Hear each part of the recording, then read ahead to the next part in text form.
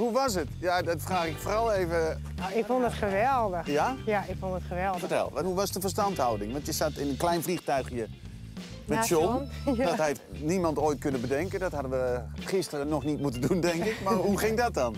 Eh, heel relaxed eigenlijk. Eigen- Eigenlijk ging het wel een beetje zoals het was. Gewoon weer normaal en... Zoals het ooit is geweest. Ja. Oh, ja. wat goed. Ja, daar ben ik heel blij mee. Wij hebben natuurlijk in de tussentijd hier ook niet stilgezeten. Er is best wel hard gewerkt en ik wil jullie even laten zien wat, we, wat hier gebeurd is. Oh, graag. Ik ben heel benieuwd. Ja? Ja. Nou, kom maar. Wauw.